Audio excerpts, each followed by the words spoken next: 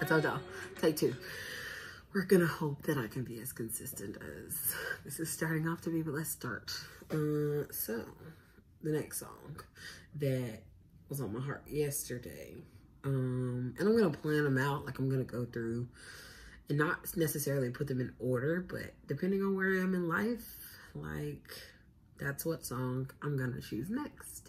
But I do know what song's coming right after this one, and then from then on, it'll be like, you know, it'll go with the flow of life. Uh, so this one is Not Lucky, I'm Loved.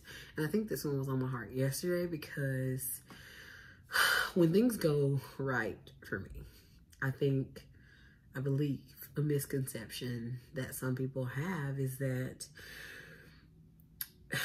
that it just I'm lucky or this blessing just fell into my lap. Um, but this song always can bring me back to the real reason why things go right. I'm not lucky, I'm loved. And that love, this song talks about being loved by God, but like I'm loved by so many, well, correction, redaction. I'm loved by God, the people in my life, uh, people who who who meet me and see my heart. All of the love that I receive from God first, and then my family, and then strangers, legitimately makes me feel like I'm not lucky. I've just been loved to this point. So while I'm rambling for a minute and 42 seconds, that's not where my blessings are. Not the sky, not chance, but truth is. Okay, so that I don't so that I don't get in trouble for using these songs. I'm gonna try to keep it to less than 15 seconds because I think that's the rule at a time. But then, so this next part, um, and I'm using Apple Music's like lyrics thing.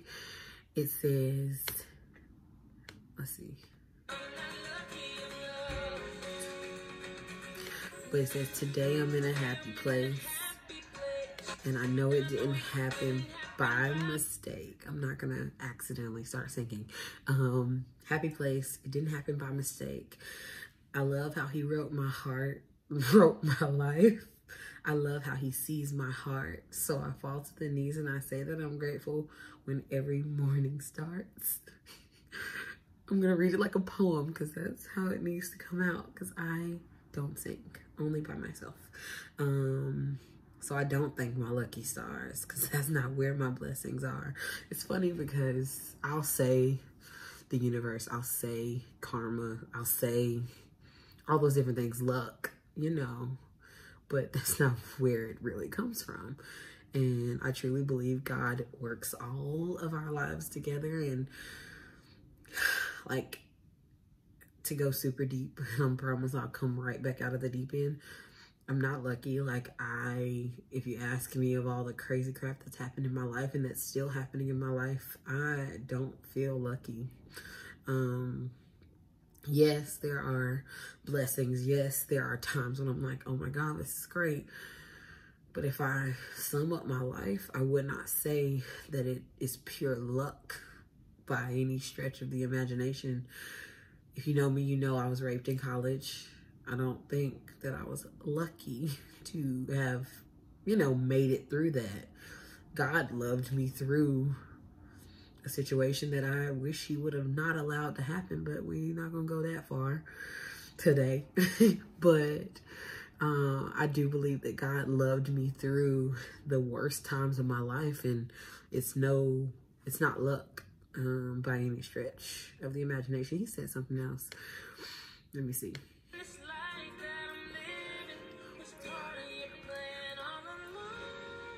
Okay, that's not the part that I was thinking about. Let me let me fast forward.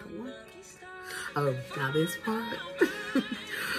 the um the the the little kid from um church Bible study, church Bible school. This nurse well, I want to say it's a nursery room. I can't think of what it's called, but um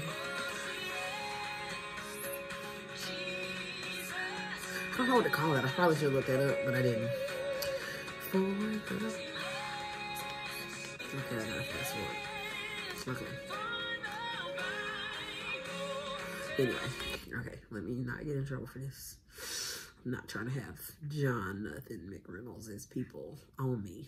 Um, so yeah, like this song just sums up where I am right now is that, I hope you didn't hear my stomach growl just now, but it sums up that no, I don't believe that like I'm lucky.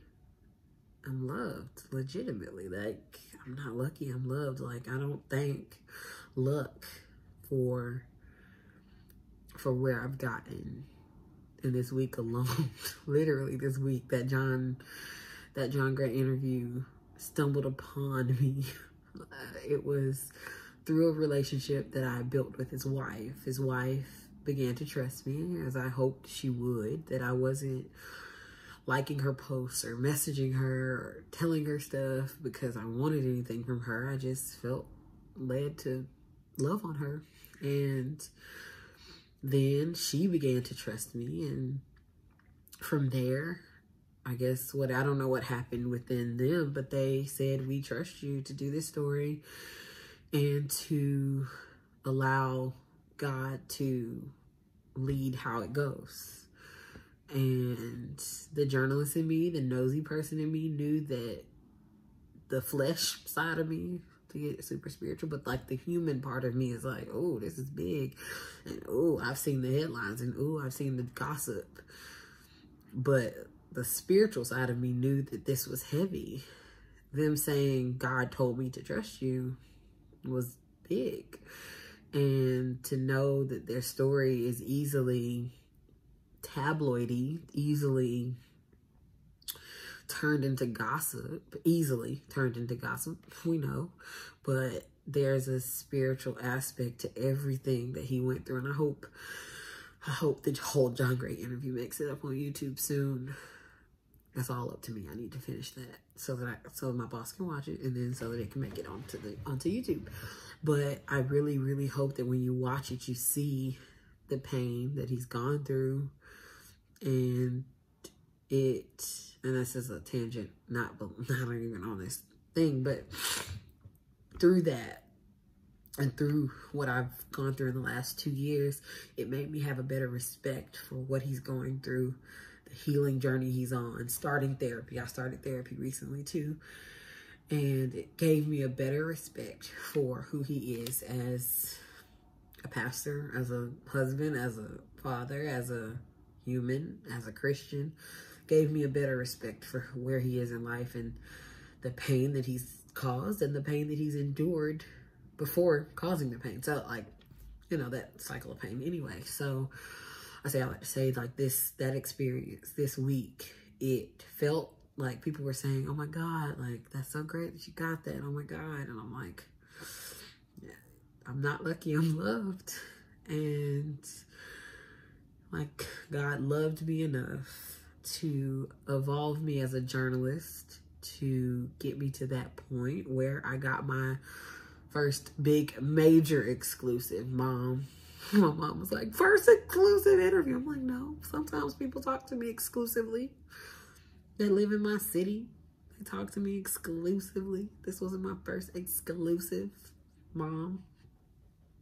But it was first major nationally cared about exclusive interview, I think, if I'm thinking back correctly.